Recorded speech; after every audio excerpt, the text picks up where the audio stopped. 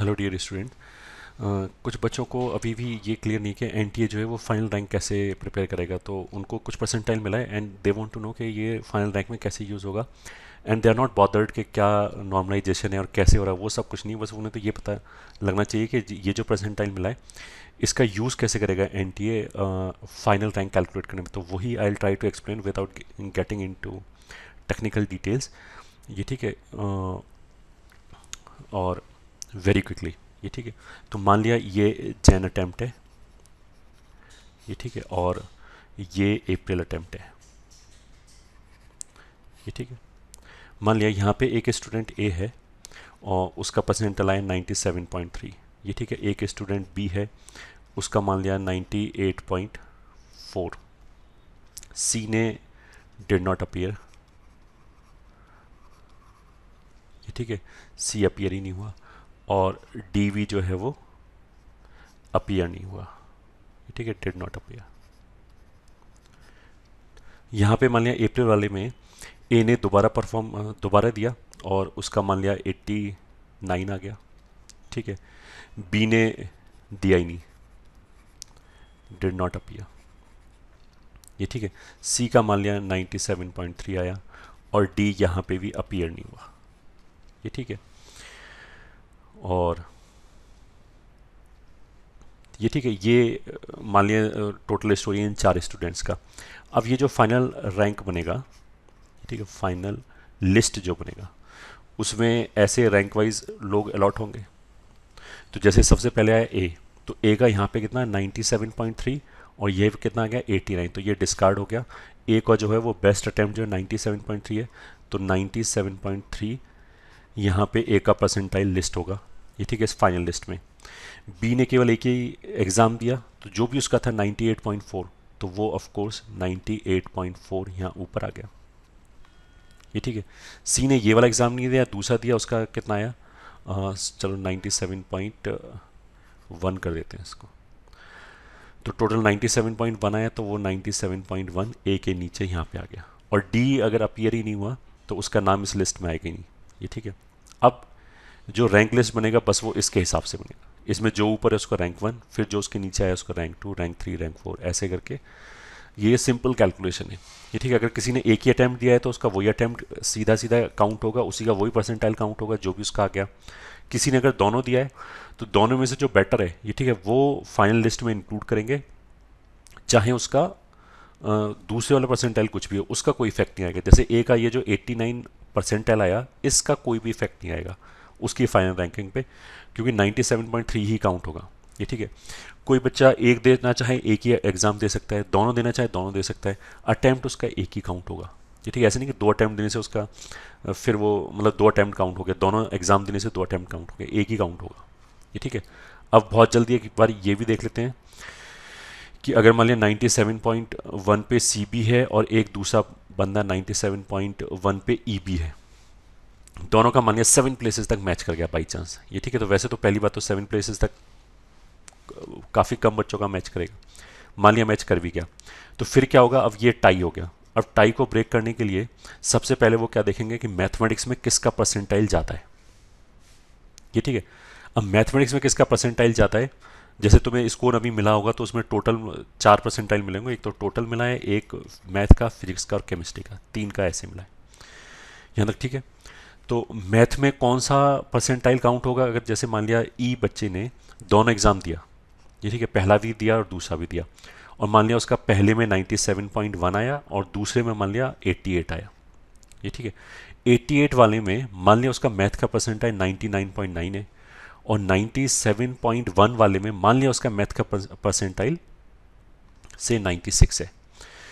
तो total count करते समय जब हमने बोला कि 88 और 90 पॉइंट्स 97.1 में से 97.1 लिया जाएगा। ये ठीक है? क्योंकि ये बेटर है। हम पर्सन ई e की बात करें। तो 88 वाला जो चीज़ है वो पूरा ही डिस्कार्ड हो जाएगा इंक्लूडिंग जो सब्जेक्ट के जो परसेंटाइल है, वो भी निगलेक्ट हो जाएँगे। मतलब अब उसका भी कोई रोल नहीं है। ये जो 88 वाला है, इसका कोई भी रोल नहीं है अब कैलकुलेशन में। तो जैसे बेटर ऑफ़ टू में 97.1 वाला लिया गया तो जब मैथमेटिक्स में टाई ब्रेक करेंगे तो जो उसका 97.1 वाले एग्ज़ाम में जो उसका मैथमेटिक्स में परसेंटाइल था, वही यूज़ होगा कंपैरिजन के लिए। तो सी और ई e में जिसका भी मैथमेटिक्स में परसेंटाइल बेटर होगा, वो ऊपर आएगा। ये ठीक है? अच्छा ये हम यूजली कई सालों से ना, जैसे टीचर लोगों में आपस में बात होती है तो केमिस्ट्री वाले सर बोलते हैं कि केमिस्ट्री टफ है फिजिक्स वाला सर बोलते हैं कि फिजिक्स टफ है। मैथ्स वाले ऑफकोर्स बोलते हैं हम कि मैथ्स सबसे ज़्यादा टफ है, क्योंकि चीज़ें काफ़ी एब्स्ट्रैक्ट होती हैं। तो वो अब आई ने काइंड ऑफ़ चीज़ क्लियर कर दिया है कि भाई मैथ ही सबसे ज़्यादा टफ है।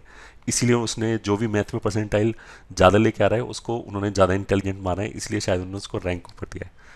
ठीक है, खैर जोक्स अपार्ट अगर मान लिया टोटल परसेंटाइल के बाद मैथ भी मैच कर जाए तो फिर उसके बाद नंबर आएगा फिजिक्स का। फिजिक्स में जिसका परसेंटाइल बेटर होगा, वो ऊपर जाएगा। ये ठीक है, और लास्ट में नंबर आएगा केमिस्ट्री का। ये ठीक है। केमिस्ट्री का भी रोल आएगा ऑफकोर्स ये ठीक है, पहले तो क्या होता था, अगर मार्क्स के बेसिस पे हम देखना कि मैथ में मार्क्स ज़्यादा है तो फिर हो गया, फिर फिजिक्स में मार्क्स ज़्यादा है, फिर केमिस्ट्री में तो मार्क्स फिर इक्वली आएँगे अगर क्योंकि अगर टोटल सेम है टोटल मार्क्स सेम है और मैथ और फिजिक्स में सेम मार्क्स आ गए तो केमिस्ट्री में भी सेम आएँगे। ये ठीक यहाँ पर ऐसा नहीं। यहाँ पे तो परसेंटाइल जो है, वो ऑफकोर्स मैथ फिजिक्स और केमिस्ट्री का एवरेज नहीं है या फिर इनका सम बाई थ्री नहीं है तो ऐसा हो सकता है कि चारों चीज़ें अलग अलग हों। बिल्कुल हो सकते हैं। ठीक है तो ऐसे करके रैंक बनेगा। अब ये जो फाइनल रैंक बनेगा, उसके हिसाब से फिर ब्रांचेज अलॉट होगा। ये तो एक पार्ट हो गया। तो बाकी इसकी टेक्निकलिटी क्या है? इसके पीछे लॉजिकल रीजनिंग क्या है? ये ठीक, यहाँ पे जब मैंने ये बोला ना कि ए बी सी डी चार बंदे हैं तो दिस इज़ इम मटीरियल के वो कौन से शिफ्ट में किसी भी शिफ्ट में हो, ये ठीक है, अगर उनके परसेंटाइल स्कोर उनको ये मिले तो रैंक ऐसे ही प्रिपेयर होगा। ये ठीक है, किसी भी शिफ्ट में टफ पेपर है ईजी पेपर है, वो सब इस परसेंटाइल के अंदर अपने आप ही आ गया। ये ठीक है, वो अब दोबारा मतलब दो शिफ्ट्स के बीच में कोई नॉर्मलाइजेशन नहीं है। सीधा सीधा सा एक शिफ्ट में, जैसे 90 97.3 का मतलब क्या है कि 2.7 परसेंट बच्चे उस शिफ्ट में उससे आगे ये ठीक है? और उसी को हमने मान लिया कि अगर हम मतलब टोटल पॉपुलेशन हमने वही शिफ्ट मान ली कि टोटल पॉपुलेशन भी 2.7 परसेंट बच्चे उससे ज़्यादा इंटेलिजेंट है। ठीक है? तो ये जो परसेंटाइल आया है, वो एज इट इज़ यूज़ होगा, इसके बाद कोई नॉर्मलाइजेशन नहीं ये ठीक है? अब इसके बाद let's go to couple of question which I am getting ये ठीक है, पहला क्वेश्चन है I have given mains exam am I eligible for April exam of course yes ठीक है, बिल्कुल एलिजिबल हो, दे सकते हो और कोई घाटा नहीं है। अप्रैल का एग्ज़ाम देने में कोई नुकसान नहीं है। फ़ायदा ज़रूर हो सकता है, अगर हमारे परसेंटाइल बेटर आ जाए तो। ये ठीक है अटैम्प्ट भी एक अकाउंट होगा, जैसे मैंने बोला था। और कुछ बच्चों को जैसे शायद ऐसे लग रहा है अप्रैल में हमारी एनर्जी वेस्ट होगी, अगर मेन्स हमने दिया तो वो फिर तुम्हारा अपना कॉल है। ये ठीक है बट मेरे ख्याल से तो हर बच्चा ऑलमोस्ट अप्रैल वाला एग्ज़ाम देगा। अब किसी का हंड्रेड परसेंट आया जाए, मान लिया तो उसको फिर वो शायद अप्रैल वाला एग्ज़ाम ना दे, क्योंकि उसे लगेगा शायद दूसरी बार एग्ज़ाम दिया तो कम आ गया तो थोड़ी बेजती हो जाएगी। या फिर कोई बच्चा ऐसा हो कि वो जनवरी वाले में बोले क्या इतना कैसे आ गया, इतना तो मैंने सोचा ही नहीं था तो फिर वो हो सकता है दूसरा एग्ज़ाम ना दे। अदरवाइज़ कोई भी एक नॉर्मल बच्चा है तो उसको अप्रैल वाला एग्ज़ाम देने में कोई भी नुकसान नहीं है, फ़ायदा ही हो सकता है। ये ठीक है तो डेफिनेटली मेरे हिसाब से देना चाहिए। Second question is if I have 82 percentile in January and 97 in April will 82 play any role in final rank of course not this I have explain ये ठीक है 82 का कोई रोल नहीं होगा। अगर फाइनल 97 जो भी दो आया है, ये ठीक है तो 97 का ही रोल होगा और फिर टाई ब्रेक करते समय जो पीसीएम की परसेंटाइल यूज़ होगा, ये ठीक है, या फिर MPC इस ऑर्डर में जो परसेंटाइल यूज़ होगा, वो 97 वाले अटैम्प्ट में जो करस्पॉन्डिंग है, वही यूज़ होगा, दूसरे वाला यूज़ होगा। मतलब अगर 82 वाला रिजेक्ट हो गया तो ऑल टुगेदर रिजेक्ट हो गया। ये ठीक है ऐसा कुछ नहीं कि इसका एवरेज लिया जाएगा। कुछ भी नहीं है। या फिर इन दोनों में नॉर्मलाइजेशन होगा, कुछ भी नॉर्मलाइजेशन नहीं होगा। Ninety seven as it is use होगा।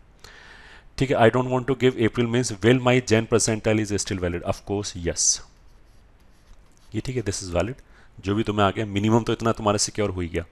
ये ठीक है फाइनल रैंक के टाइम पे। My percentile is 99.9 which translate to around 875 ये ठीक है रैंक्स ठीक है, आठ लाख कुछ सेवेंटी फोर थाउज़ेंड शायद कुछ बच्चे थे तो उसके हिसाब से इसका जो पॉइंट वन परसेंट बच्चा ऊपर था तो आठ लाख में दस परसेंट जो होगा। ये ठीक है, वो अस्सी हज़ार के आसपास हो गया। एक परसेंट जो होगा आठ हज़ार के आसपास हो गया, जो तो point one percent eight seventy five के आसपास हो गया। तो उसने क्वेश्चन क्या है कि my percentile this which translate to around eight seventy five rank which is sufficient to get my desired branch ये ठीक है maybe C S in Trichy मिल जाएगा। मतलब उसने ये बोला है बच्चे ने can I skip April means of course not क्यों? क्योंकि तुम ऐसे बोल सकते हो कि मान लिया जैसे तुम्हारी परसेंटाइज 99.9 है। ये ठीक है पॉइंट वन परसेंट बच्चे तुमसे इस एग्ज़ाम में ऊपर हैं। ये ठीक है तो उसका मतलब क्या है कि लगभग 875 बच्चे ऊपर हैं।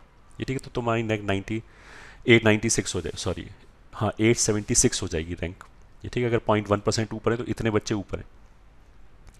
इस एग्ज़ाम में 875 बच्चे तुमसे ऊपर हैं। तो जो फाइनल रैंक बनेगा, उसमें ये जो बच्चे ऊपर हैं, ये ठीक है, वो तो डेफिनेटली ऊपर ही रहेंगे, क्योंकि वो दूसरे एग्ज़ाम में कैसे भी परफॉर्म करें।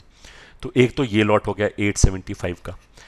अब दूसरे वाले एग्ज़ाम में, मान लिया तुमने एग्ज़ाम नहीं दिया, और ये ठीक है, वो दूसरा एग्ज़ाम जो होगा, उसमें जो तुम्हारा परसेंटाइल वो 99.9 पे रहेगा। ये ठीक है बट स्टिल उस एग्ज़ाम में भी मान लिया दस लाख बच्चों ने एग्ज़ाम दिया। तो उसका पॉइंट वन परसेंट कितना होगा? एक हज़ार।